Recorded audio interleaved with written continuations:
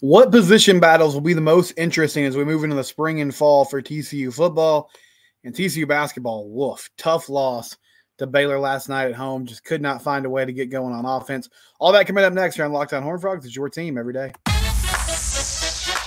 You are Locked On Horn Frogs, your daily podcast on the TCU Horn Frogs, part of the Locked On Podcast Network. Your team every day.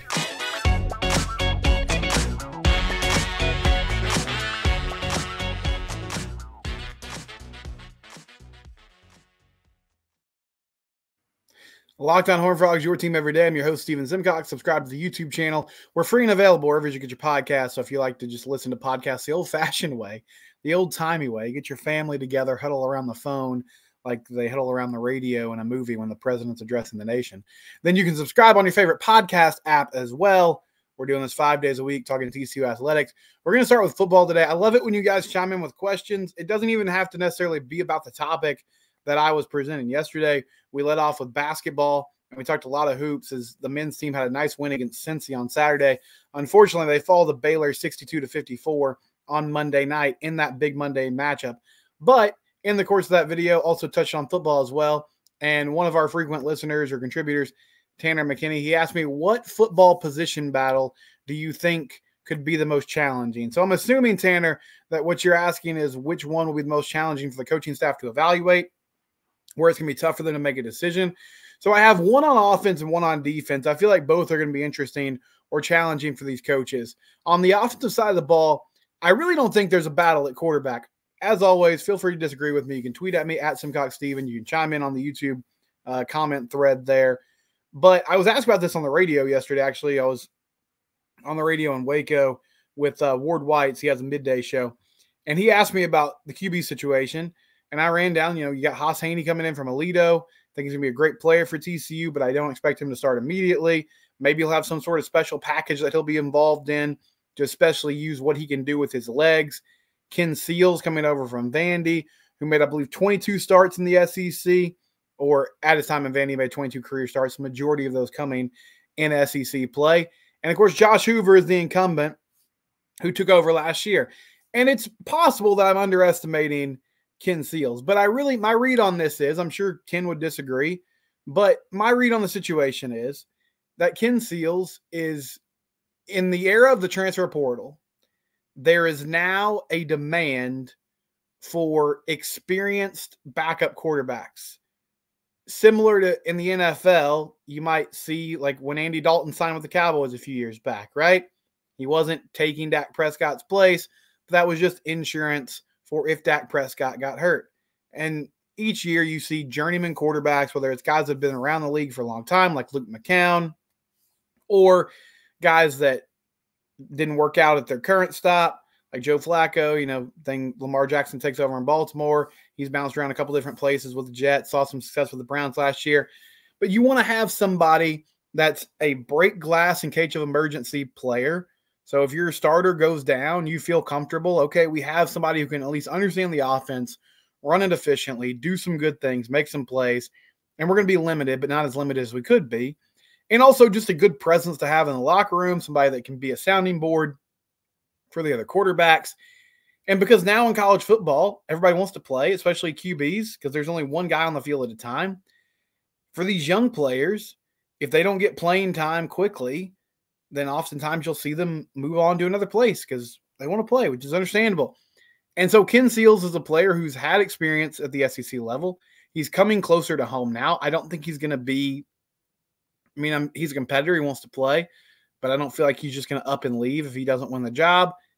But he's there if you need him. And I feel like it's Josh Hoover's job to lose, is probably the best way to put it. Unless things just unravel in spring camp or fall camp, or unless Ken Seals or Hauss Hejny plays so well that the coaching staff is forced to make a decision. Josh is going to be your quarterback in 2024. At the running back position, I think it's an interesting situation, but I feel like your every down back is going to be Cam Cook to start the season. That's subject to change if they bring in a running back after spring ball. But I think most likely, if they did bring in somebody after spring ball, it would be more of a third down back, change of pace type of guy. And they have a couple of those players already with Trey Sanders, Trent Battle, Corey Wren. At wide receiver, I don't really feel like there's much of a battle. I think JP Richardson's going to be in, your inside receiver. Eric McAlister's going to be on the outside. I know some people think Dylan Wright can make a push for that spot. I feel like Dylan Wright's going to be a factor in this offense, but I don't believe he'll be a starter. And then Savion Williams on the outside on the other side. Drake Dabney will be your starting tight end. So the battle on offense that I am most intrigued by, or I think is actually going to be a real deal battle, is on the offensive line. And it's not so much certain spots as much as it is which five players or Sonny Dykes and AJ Ricker going to come to a consensus on as the leaders up front. You got Coltin Deery, who played some last year. Will he get reps at center? Bless Harris, a transfer from Florida State. I think he's going to be your left tackle. A couple guys that they brought from group of five schools, you know, Carson Bruno, Cade Bennett, that could slide into the interior and play well. Remington Strickland is a, a guy that's been um, in, in the two deep at Texas A&M for a few years. He's coming over. Mike Nichols is a, a player that has experience, and I think he has the inside track for the tackle position. Ben Taylor Whitfield played a lot of snaps last year for the Frogs. Are there any young guys that could emerge? And the ultimate wild card to me is Tommy Brockermeyer, former number two player in the country when he was in high school. Hasn't really worked out so far because of injuries. Had a back injury last season, had to have surgery. I'm skeptical that he'll be ready to go to start the year, or I think he'll be ready to go. I'm just not sure if he'll be ready to step in and be a starter immediately. But if he's at full strength, I mean, he's a special talent. He's got the frame, he's got the size. He showed the ability in high school. So I think he could be a factor in this decision as well. Robbie Rochester's another name, the transfer from UConn. They've got some different options. Now, sometimes those linemen by committee situations, probably not the right term for it, but if you feel like you have a lot of options, that can mean one of two things. Maybe you have depth, or maybe you just have a lot of guys that are just sort of there is anybody going to step up and take over? The the players that I feel best about starting at the moment are Coltin Deery at center and then Bless Harris at one of those tackle spots. I think you can pretty much etch that in unless something goes wrong. I feel like the other three positions are going to be subject to change and how quickly they can, can they come together and have some continuity.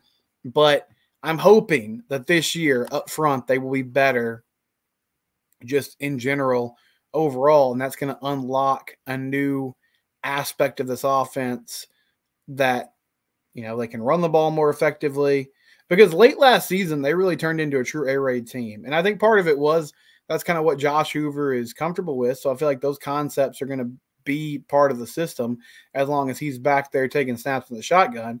But the other factor simply was i just don't think they trusted their o line to get pushed consistently and run the football. And so when you can't do that you become a pretty one dimensional team. And if you're a one dimensional team on offense, it's tough to be efficient and score, especially in the red zone when the field shrinks and it's it's harder to get guys open and teams can kind of bracket wide receivers and tight ends better. They don't have to worry about getting beat over the top. And so it's more difficult to find ways to throw the football effectively. Um, and it's tougher to run too. And so if you're already not a good running team, then it can be hard to find openings in space in the rushing attack down near the goal line. So I think on offense, O line is where you need to look if you're talking about position battles. It's not really one specific position. It's just like, okay, who are the five guys that they're going to roll with this upcoming season? And what is that group going to look like? How cohesive can they be when the season gets going? And how quickly can this offense get to a place where they are just better overall? Defensively, I feel like the most interesting battle is going to be at linebacker. One, just because you have a, a good number of options here, but secondly, with a new system, these guys are going to be asked to do different things. So you have Shad Banks, who's returning and has played a lot of snaps for the last few years. Johnny Hodges is also coming back, and he's been a starter at times, dealt with injuries last season. The big name to know that came in, though, is Caleb Elam-Zurer, the transfer from Cal. And I feel like he's going to be you know, a day one starter on this defense at one of those inside linebacker spots. Nnamdi Obiazor, I believe he's going to be a starter. He led the team in tackles last year. He said media availability recently that he's moving to the Sam linebacker position. He feels comfortable with that. So or and Obiazor, but then that those other spots are kind of up for grabs. And you have a new stud linebacker position now, which is sort of a hybrid outside linebacker defensive end spot. You're going to be asked to rush the passer. You'll also be asked at times to drop back into coverage to do different things. So, what is that going to look like? Um, Devin Deal is a name that comes to mind. He played in a similar position at Tulane. Uh, could it be, you know, Johnny Hodges has been a name that's thrown out there, even though I think Johnny is an effective blitzer. I feel like pass rushing is a different skill set, and I, I think that's going to be tough for him to, to make that transition, but maybe he's somebody that they look at as well. Uh, Cooper McDonald from San Diego State will be coming in, and he played in a similar position for the Aztecs. So that's those are names to know. And, and there's some other fascinating players there that can they find a way to contribute. Marcel Brooks, I, I love the guy, and I hope he stays healthy. Um, I'm not really sure what you can expect from him at this point, just because this is year three of us saying, okay, can Marcel Brooks be an X factor in this defense? And I mean, it just keeps coming back to one, can you find a place for him to be effective on the field? You know, what position can he play? What can he do well? And then secondly, can he hold up physically? But when we're talking about a defense that brings pressure from different angles and wants to be aggressive, a guy like Marcel Brooks with his athleticism, it, it seems like that would be a good fit for him. Um, so, you know, do any of these other guys step up? Terrence Cooks is a name um, that a couple years ago that was kind of one of their big transfer players they're excited about and hasn't really uh, come to fruition on the field. That's another guy to know. A lot of different options at that linebacker spot. You know, elsewhere, D line I think will also be fascinating because you've got a good mix of young guys and and some vets that you brought in through the portal who will emerge there. And you you have a defensive line now that should be put in better situations to make plays and be aggressive. And so that's encouraging for this team, as that was not part of the defense the last few seasons. I think in the secondary, things are a little more set, but you do have a number of corners and, and safeties that you brought in recently after Andy Avalos took the job. And different defensive coordinator means, you know, different priorities, different things he's looking for. So to answer your question on the defensive side, um, Tanner, I really think all those positions might be up for grabs. The, the most interesting to me is linebacker, but I think you, you're coming into a situation uh, where there's kind of a clean slate because this DC hasn't seen these guys in action. He wants to know, all right, what you know, who fits this system, who's doing what we ask them to do, and can pick up the, verbiage and um, the responsibilities quickly in a way that we can hit the ground running and not make a lot of mistakes start the season. So some really intriguing things. This is a critical off season for this team and this program. You want to get those positive vibes back. I think you have an opportunity with the schedule to win between eight to 10 games, and you need to take that step forward if you're Sonny Dykes and this coaching staff. When we come back, I was excited about last night. I thought it was a big opportunity for the Frogs. They couldn't capitalize. They lose 62 to 54 to Baylor. We'll talk about that and more next on Locked On Horn Frogs, your team every day.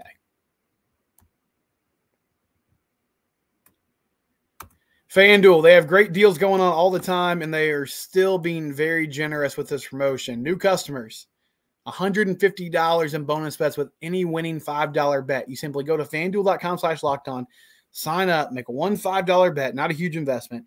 If you win that bet, you get $150 in bonus bets. NBA is in full swing right now, so they're really pushing that. If you, it's a perfect time if you're a hoop head to start betting. They have quick bets, same game parlays, exclusive props, and more.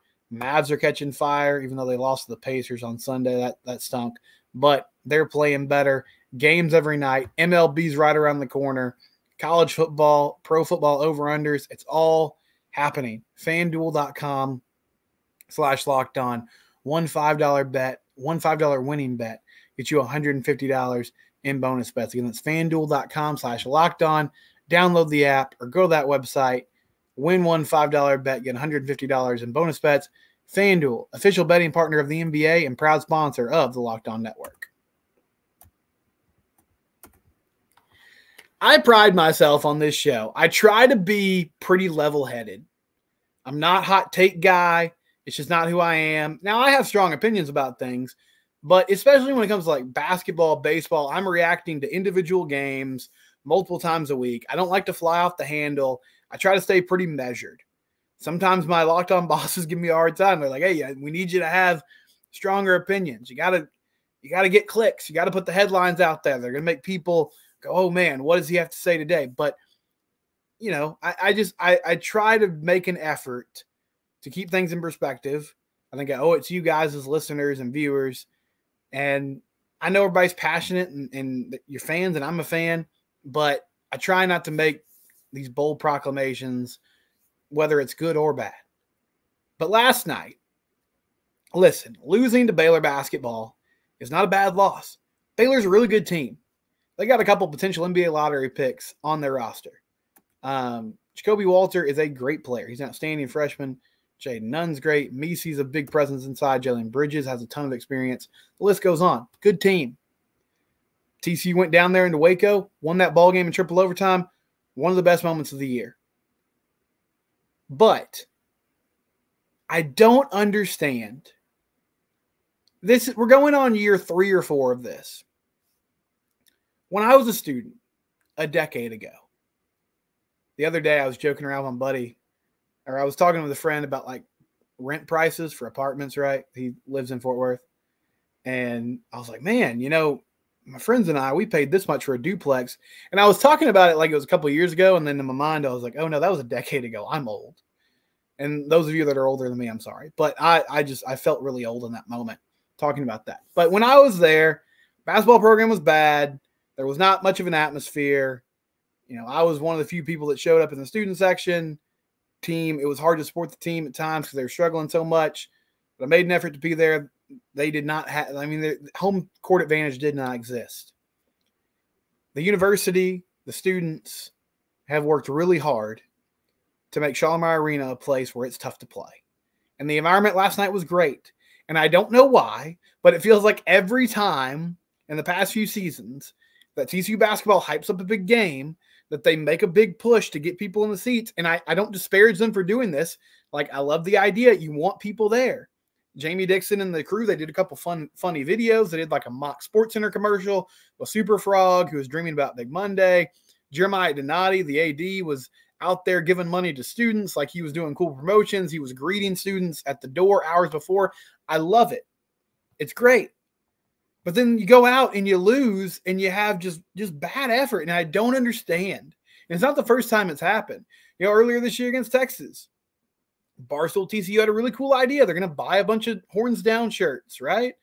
Because it was coming off, you know, um, Rodney Terry complaining about UCF and giving the horn down signal after that loss. It was coming off the BYU student section had some horns down shirts or signs or something, and they were asked to take that down. It was a good bit. And great atmosphere for that Texas game. Saturday afternoon, team gets off to a great start, but they fade down the stretch and they end up losing. And last night, lost, you know, a couple of years ago against Texas, seemed like they made a huge effort to get people in the stands and they were there, and then they just couldn't find a way to win. Uh, in this ball game, offensively, just struggled mightily. Baylor came out and played zone and TCU did not have an answer. Now, this is a better shooting team than they have been the last couple of years, but Trey Tennyson is the key. If he's not shooting from the outside, then you know you might get a, an occasional hot night from Micah Peavy from beyond the arc. Jameer Nelson Jr. is about 25% three point shooter. Avery Anderson around the same. Tennyson's the key though, and he is just going through a rough cold stretch right now. He's oh over. He was oh over eight last night, oh over five from three. Had a couple that rimmed out, but he's your zone buster. He's the guy that's going to get them extended and maybe force them to change their hand a little bit. He couldn't do it. And then also, I just didn't think they were active enough. They weren't patient enough. They weren't moving around enough. You have to move the ball and not just around the perimeter against the zone. You have to get the ball to the free throw line. You know, move it to the corner. It's, it's just ball's got to move. And I felt like they got too complacent and just passing the ball around the perimeter and settling for shots that weren't quality. But in the first half, they kind of hung around. Uh, Jameer Nelson Jr. had a great dunk on Missi. You know, both teams went through a horrible scoring drought for like the last 10 minutes of the first half, but you're down 25 23 at halftime. It's like, okay, you didn't play great, but you're right there. You come out in the second half and just get your doors blown off. I mean, it was a 17 point lead at one point, maybe an 18 point lead as well. TCU made a couple pushes at various times in the second half, but they were never in that ball game. And it was just a rough night from the jump offensively. Um, Emmanuel Miller or Jameer Nelson Jr. led the way with 11 points, but was on three of eight shooting. Emmanuel Miller had 10. Those were the only two guys in double digits. 26% from three, 33% from the field. Just a rough night all around. They played pretty well defensively. I mean, it's a Baylor team that can score. They held them to 62 points. Ernest Udeh was out again. I thought Missi was going to dominate. He ended up having 16 points in 21 minutes, but a lot of that was in the second half when they had to go small because of some foul trouble. I thought overall they did a pretty good job against him. Jalen Bridges got off to a hot start. He was hitting threes uh, left and right, and that got Baylor out to a lead early in that ball game. But man, it's just one of those things. Like this is not a bad loss in a vacuum. Baylor's top 15 team in the country. I understand it, but I just felt like this was a big opportunity at home. Baylor's coming off an overtime loss to Houston. They had lost two in a row. They were desperate, but I feel like TCU could have matched their desperation with help from the crowd, with help from that atmosphere against a team that you would think would have tired legs. Now TCU played Saturday as well, but they got a pretty comfortable win against Cincinnati. And it's just the the constant frustration with this era of basketball under Jamie Dixon where they're, they're good, but the the consistency is just not there night in and night out. It's a brutal league. It is. It's tough. The Big 12 is a tough conference. But you're 8 and 7 now. You go on the road to Provo on Saturday night.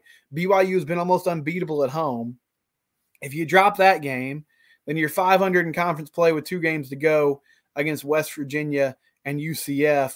Um, and it just felt like if you were going to get to 10 or 11 wins in conference play, this was a game you had to have, and you just couldn't do it. And, and the discussion always kind of comes back with with this team right now, and you know Jamie and what kind of job is he doing coaching? Jamie has raised the level of this program um so much. Like he has. He's built something great here. And I think he's getting some momentum in recruiting. And you know, you lost some important players from last season. In some ways, this felt like it was going to be a rebuilding year. But man, there were this was a chance to go get a victory against a really good team, sweep the season series against Baylor, and you just couldn't do it. Didn't love the effort, didn't love um, you know, especially offensively, just could not find a way to answer that zone. And this, you know, we saw this earlier in the year with like teams pressuring TCU's guards. Texas kind of gave them the blueprint and then it continued. They've done better about it lately at times, not turning the ball over. A lot of lazy passes yesterday that led to turnovers. But now you wonder, okay, our teams just going to run zone until you show that you can beat it. I mean, I mean that's a smart strategy. Like if I'm BYU, I'm watching that tape this week. I'm like, yeah, we're coming out in the zone, and you got to force us out of it because they did not have an answer for it on Monday night. Now the good news is you get a few days of practice here before you have to go play on Saturday. But tough loss for the Frogs um, as they fall to eight and seven in conference play. When we come back, we'll talk about uh, TCU baseball back in action tonight in a midweek affair. Busy week for uh, the Frogs baseball team. So we'll get into that next. It's Locked on Horn Frogs. It's your team, and we do it here every day. You're listening to this or watching this because you love sports. And if you love sports, you probably like to go to games. And you're always wondering what's the best place to get tickets because there's so many options now. Gametime is the best place for you to get tickets. Go to Gametime it's an app. You get it down on your phone. Download the app. I don't know why I said it like that. You, you know what apps are. Download the app on your phone. Use the code Locked On for twenty dollars off. One great thing about the Gametime app, they show you exactly what your view is going to be from your your seat. You see a picture, you know exactly what your view is going to be from your seat. You also there's no hidden fees. It tells you exactly what the total is going to be when you click on the tickets. Twenty dollars off your first purchase with that promo code Locked On. It's not just sporting events. They also have um, tickets for concerts, comedy shows, everything you would need. Gametime app. Use promo code Locked On for twenty dollars off. Best place to get tickets for whatever event you're interested in. TCU baseball plays Washington State tonight at 6 p.m. Then they get Arizona tomorrow at 6 p.m. Both games will be on ESPN Plus. And then this weekend they play uh, USC twice at Globe Life Field on Friday and Sunday, and in between that they have a matchup with Arizona State on Saturday at Globe Life Field. So busy week for the Frogs. But talking about the midweek games tonight against Washington State, Ben Hampton expected to be the starter. TBA on the starter for Arizona. You'd think it's going to be mostly a bullpen game, but I'd be interested to see if Luis Rodriguez is the guy that gets the nod. Had a lot of starts last year, didn't pitch this past weekend, so he should be well rested and available for that game against Arizona. Um, we'll also see if Payton Tolle's back in the lineup tonight. He missed the Saturday and Sunday games against UCLA, and Jamie Plunkett, you know, went to the media availability after the, that series, and Kirk Saarloos kind of downplayed it and was like, "Yeah, we're just trying to get his timing right, get him in a good place mentally before we put him back out there." I do wonder, and, and we'll see how it plays out. I think Peyton was he was a great two way player at Wichita State, and we've seen players at the college level, you know, pitch and hit effectively. It's not like it hasn't been done before. Obviously, Shohei Ohtani is doing it in Major League Baseball, but that dude's an alien. So I, I don't really think there's a lot that we can take from from what he does because it doesn't seem like something that a lot of people can replicate. But it's still a big ask. I mean, if you're talking about somebody being a Friday night starter and also being in the middle of your lineup, it's a tough thing. He's also adjusting to just new school, new place, new team, all those things. So hopefully he's in a better headspace and they can help coach him through this. Um, but yeah, hasn't been available the last two times out. So I'll be interested to see what he looks like or if he plays in these midweek games and then going into the weekend. So big week for TCU baseball. Ben Hampton on the mound tonight and then TBA tomorrow. We'll be back tomorrow. It's Locked on Horn Frogs. It's your team, and we do it here every day.